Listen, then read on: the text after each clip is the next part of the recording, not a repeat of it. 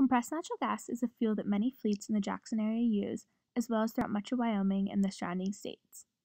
This video will highlight the station in Jackson at Lower Valley Energy and the station in Afton located off the main road. The goal of this video is to address any questions compressed natural gas users may have about fueling in the area. Compressed natural gas, also known as CNG, is produced by compressing natural gas to less than 1% of its volume at standard atmospheric pressure. To provide adequate driving range, CNG is stored onboard a vehicle in a compressed gaseous state at a pressure of up to 3,600 pounds per square inch. CNG is used in light, medium, and heavy-duty applications. A CNG-powered vehicle gets about the same fuel economy as a conventional gasoline vehicle on a gasoline gallon equivalent basis. One gasoline gallon equivalent equals about 5.66 pounds of CNG. Emissions-wise, CNG vehicles produce 20 to 30% less greenhouse gas emissions than gasoline or diesel powered vehicles. And according to the Alternative Fuel Data Center, in 2021, CNG was $2.33 per gasoline gallon equivalent, and gasoline was $3.25 per gallon.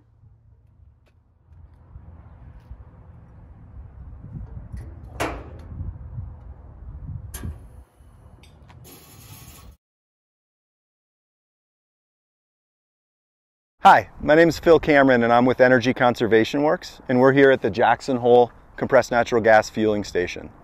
The station is located at Lower Valley Energy on South Highway 89 and it provides 24-7 access to the public for CNG fueling. This station was made possible in partnership with Lower Valley Energy and the support of Yellowstone Teton Clean Cities. Energy Conservation Works worked with our joint powers partners at the town of Jackson and Teton County to pursue funding from the state of Wyoming's Business Council to make the station possible. A Business Council grant in combination with local restricted energy funding allowed us to build this station and offer CNG, a cleaner burning local fuel, to all transportation users. Since the station was completed in the fall of 2017, we've seen increased use from fleets throughout the community.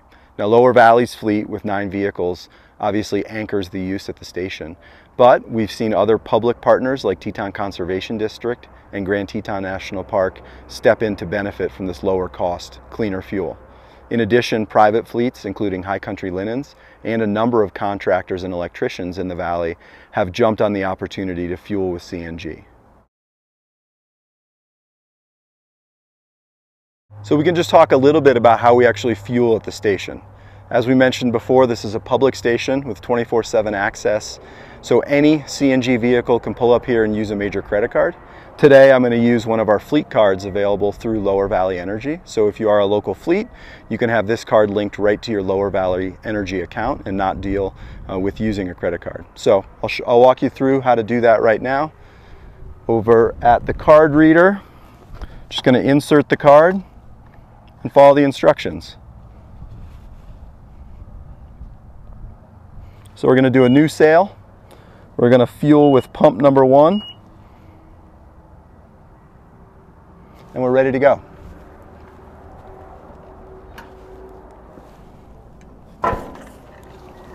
So with this fueling station, it's pretty straightforward. We're going to line up both the arrows on the connection, fit that onto the vehicle, and twist it 90 degrees. Now it's ready to go and I'm just gonna flip the station on. You'll hear the dispenser kick on and it's gonna bring fuel on board the vehicle. When you're all finished fueling up, the dispenser is gonna tell you you're at full pressure. Switch it off. Disconnect.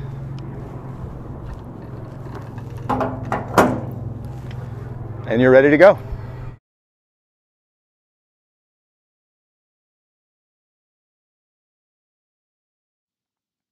To locate a CNG station near you, you can use the Alternative Fuels Data Center station locator. Just put in your zip code and choose CNG as the fuel you are searching for. The station at Lower Valley Energy in Jackson, Wyoming is 63.4 miles away from the closest station in Afton, Wyoming, which is about a 1 hour, 10 minute drive.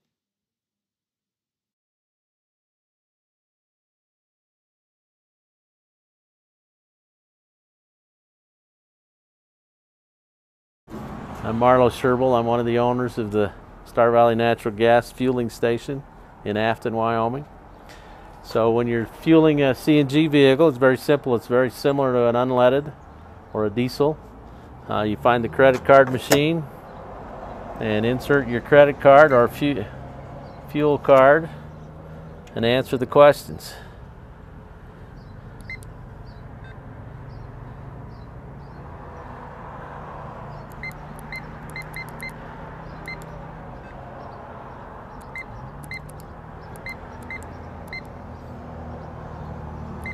Ask you a pump. In this case, we're going to use pump number one, which is a 3600 psi, versus pump two, which happens to be only a 3000 psi. So it's lower for some of the older tanks that are around. So once you run your card and it's approved, you grab the hose and nozzle, put it on your CNG, turn the pressure. And then you just flip it just like you do it in unleaded. And it starts filling.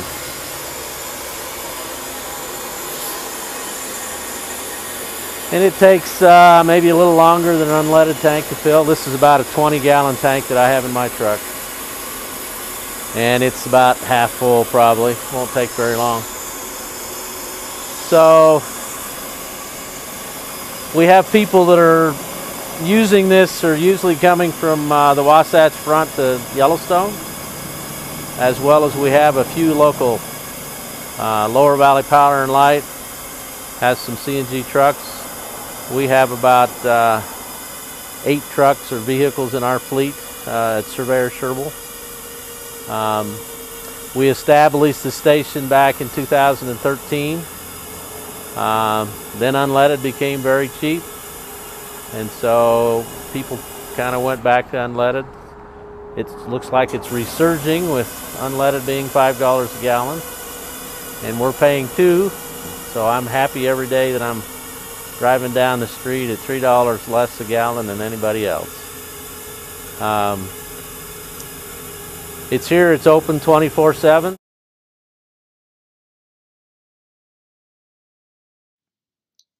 can also use the Alternative Fuel Station Locator to view all nearby CNG stations by putting in your zip code and choosing CNG as the fuel you are looking for. As you can see, there are stations nearby in Jackson, Afton, Pinedale, Rock Springs, and Evanston, Wyoming, and in Logan, Perry, Kaysville, and Ogden, Utah.